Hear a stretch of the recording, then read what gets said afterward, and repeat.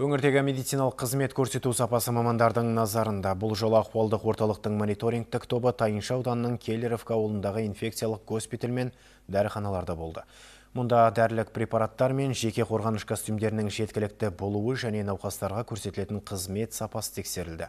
Мониторинг барысында аудан ауруханасынан заң бұзушылықтар табылды ма?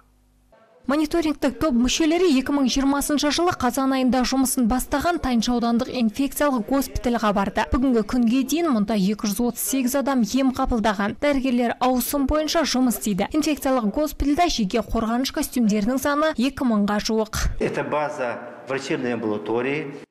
Бұл дәрігерлер амбулаториясының базасы өте ыңғайлы себебі ғимарат елді мекеннен бөлек тас жолда орналасқан. Жұқпалы аурулар бөлімінде 160 төсек орын бар. Ол науқастарымызға және басқа да соматикалық ауруларға емдеу курсынан өтуге кедергі келтірмейді. Мұнда тәжірибелі дәрігерлер мен оттегі баллондарын ауыстыруға үйретілген санитарлар және науқастарға күтім жасайтын мамандар кезекшілік етеді. Жұқпалы аурулар госпиталінде жеті өкпені жасанды желдету аппараты бар. Қазіргі уақытта 12 адам ем алып жатыр. Айта кету керек, бұл инфекциялық мекемеге Уәлиханов, Ақжар және басқа да аудандардан науқастар әкелінеді. Я очень благодарен вам за ваш ратный труд, за то, что вы есть на земле и что вы спасаете людей.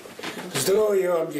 Аурухананың бас дәрігері Анатолий Рафальскийдің айтуынша 2020 жылдың басында вирусқа қарсы препараттардың көлемі бір апталық қорды ғана құраған. Алайда қазіргі уақытта бұл мәселе оң шешімін тапқан. Аудан орталығы мен ауылдарда антибиотиктер мен дене қызуын түсіруге арналған дәрмек те жеткілікті. Барлығының толық резерві бар.